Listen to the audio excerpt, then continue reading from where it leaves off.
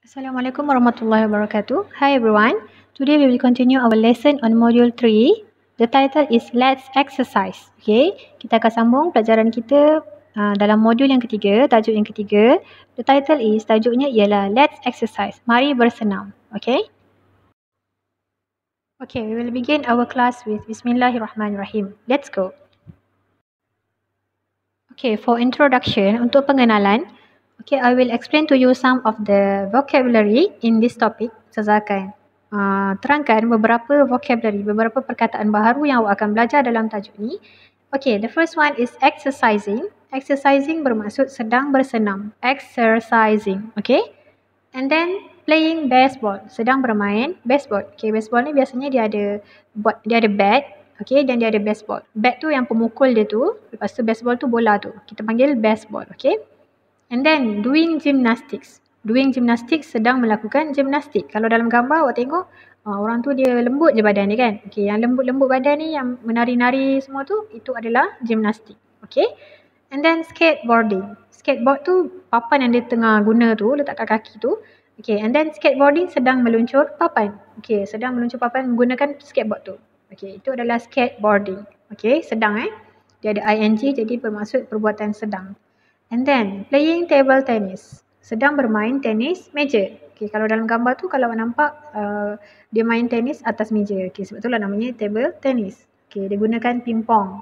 Okay, bola pingpong. Dan juga um, dia punya pemegang tu kecil je lah, raket kecil je kan. Okay, kalau tenis yang biasa tu besar. Itu beza table tennis dengan tenis. Okay, yang table tennis ni bola pingpong yang ringan tu je. Okay. Let's exercise. Jonathan loves sports.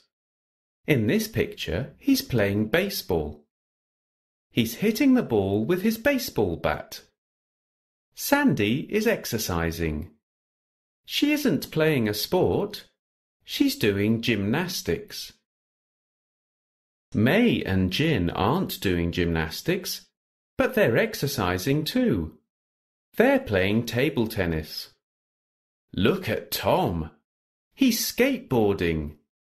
Skateboarding is good exercise and fun too.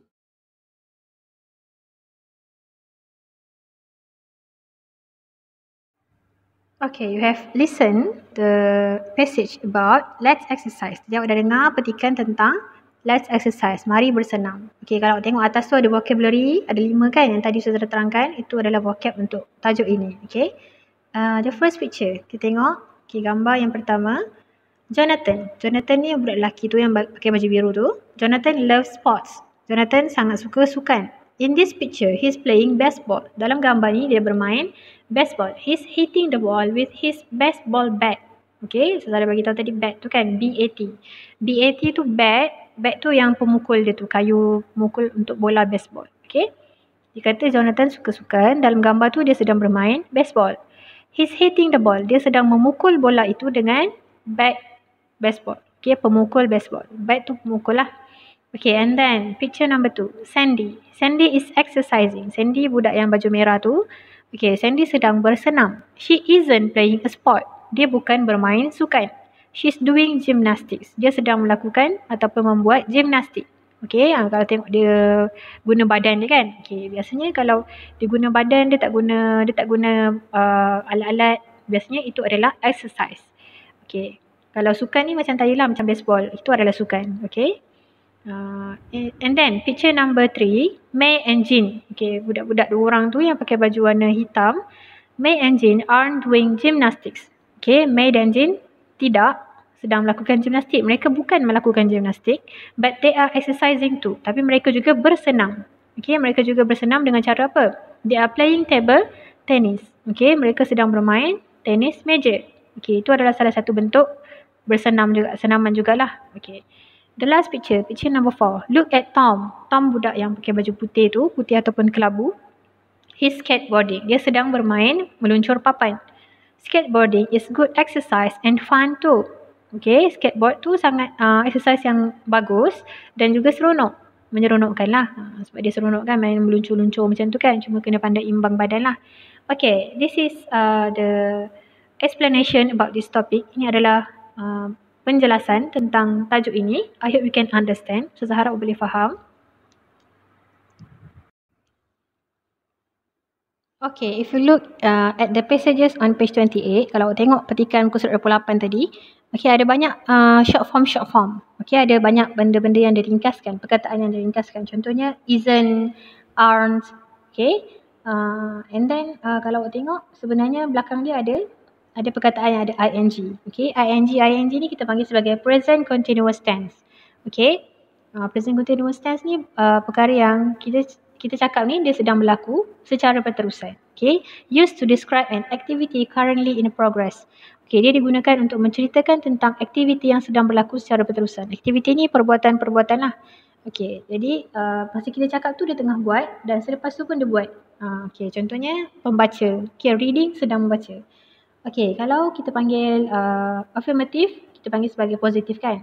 Kalau negatif ni benda yang tidak-tidak. Okay. Maksudnya benda yang Jawapannya bukan. Okay. And then affirmative kalau I am, bila kita short form kan, bila kita pendekkan dia jadi I'm. Kalau you are, dia pendekkan jadi you are. Kalau we are, pendekkan jadi we are. Okay. And then they are. They are kita pendekkan jadi they are. He is jadi his. She is jadi she's. It is jadi it's.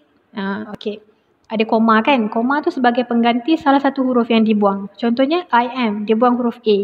Digantikan dengan koma. Okay, kalau you are. Yang a, a, a ni semua dia buang huruf A, dia gantikan dengan koma. And then is. Is tu dia buang I, dia gantikan dengan koma. Ha, jadi semuanya jadi satu perkataan saja selepas dia short form kan, selepas dipendekkan. Okay, itu adalah affirmative yang benda-benda positif, yang yes lah maksudnya. Okay. Kalau tidak, jawapannya untuk tidak, macam mana?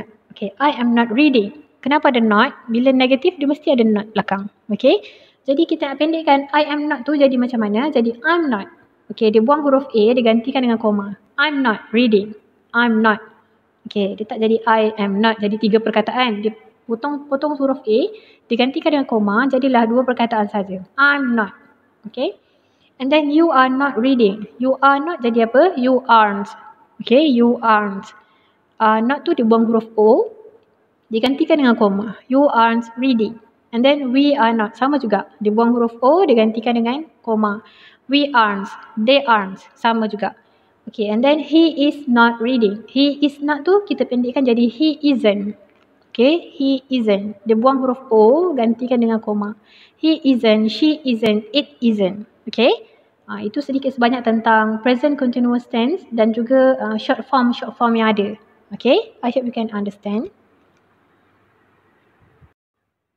Okay, we have completed our lesson for today. Kita dah habis pelajaran kita untuk hari ini.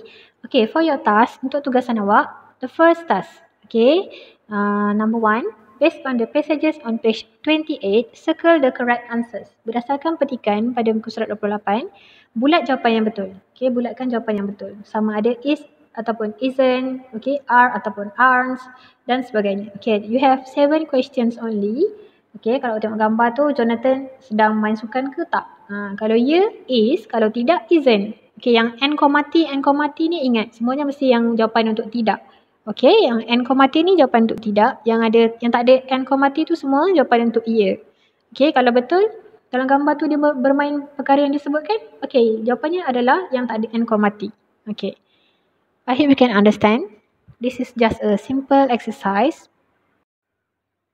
Okay, for your second task, untuk tugasan yang kedua, you have to uh, copy down the notes. Awak kena salin nota tentang present continuous tense. Okay, tentang uh, perkara yang sedang berlaku secara berterusan. Okay, you have uh, to copy down this note. Okay, you are not allowed to print it. Okay, awak tidak dibenarkan untuk print sebab usaha nak awak salin sambil baca dan juga awak fahamkan nota tersebut. Okay. Okay class, that's all for today. Thank you. Have a nice day. Assalamualaikum warahmatullahi wabarakatuh.